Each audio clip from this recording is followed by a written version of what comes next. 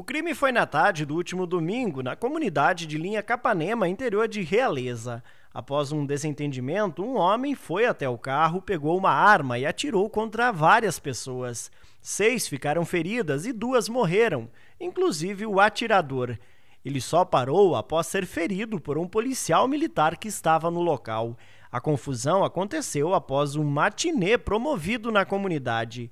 Agora a Igreja Católica está investigando quem teria promovido o evento, sendo que desde 2018 um decreto publicado por Dom Edgar proíbe festas em dependências da igreja com vendas de bebidas alcoólicas.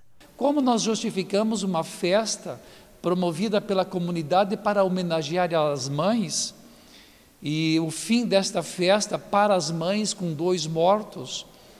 Quem a autorizou? Quem é que permitiu tal evento numa de nossas comunidades? Então nós estamos deveras muito chateados com o que tem acontecido.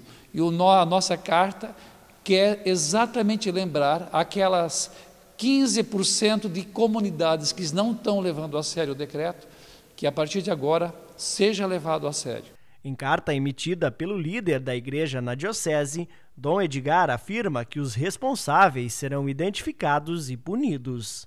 Todos os conselhos eh, que desobedecem às normas da igreja, eles são convidados a um diálogo, um esclarecimento se houver justificativas e após isso uma demissão voluntária ou se não uma demissão feita pelo pároco ou pelo bispo. Infelizmente nós temos que tomar é, medidas desta natureza quando não há comunhão, quando não há participação, quando não há cumplicidade nas decisões da igreja. A igreja é mãe.